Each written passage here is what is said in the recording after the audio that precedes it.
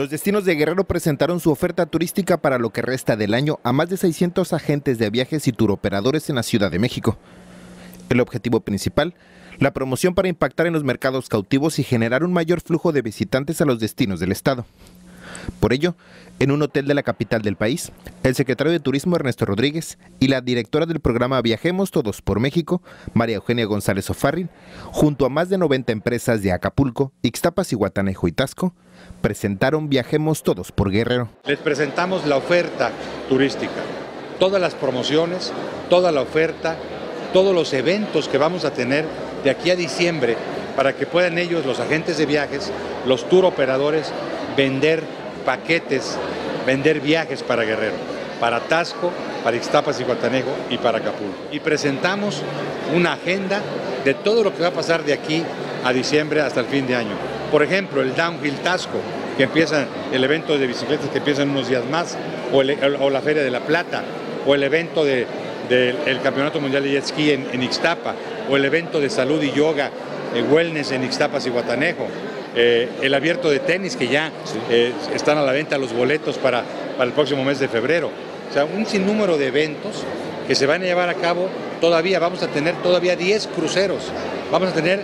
11 congresos y convenciones de aquí a diciembre todavía. Así es que les dijimos, Guerrero está de pie turísticamente. A través de Viajemos Todos por México estamos apoyando todos los estados, en especial cada estado va adoptando digamos, el movimiento y en este caso pues ya hay un Viajemos Todos por Guerrero que está realmente motivante porque en este evento que es B2B, es decir, de negocios, es un evento donde se generará mayor negocio, mayor oferta turística para el consumidor, que eventualmente ven inalcanzable el viaje. Ahora creo que ya todos los mexicanos tienen un producto a través del cual pueden viajar en todo el país y en especial en el caso de Guerrero. En el marco de este evento, el gobierno del estado a través de la Secretaría de Turismo valoró la lealtad del más importante mercado para Guerrero,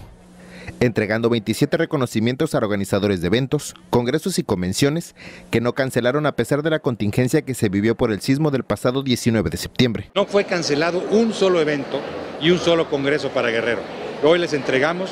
a nombre del gobernador Héctor Astudillo, un reconocimiento desde el fondo de nuestro corazón a todas estas personalidades. Ya les dijimos con mucho ánimo a todos ellos, a todos los agentes de viajes, a todos los tour operadores, como dice la canción, por los caminos del sur. Vámonos para Guerrero. En el marco de Viajemos Todos por Guerrero, las asociaciones de hoteles y las oficinas de convenciones y visitantes, así como los fideicomisos de promoción turística,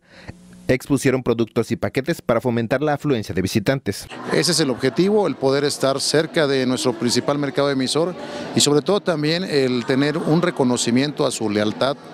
a su, y una muestra de gratitud también por parte de quienes nos dedicamos al turismo en el estado de Guerrero, con eh, nuestros principales agentes mayoristas, nuestros principales proveedores de turismo hacia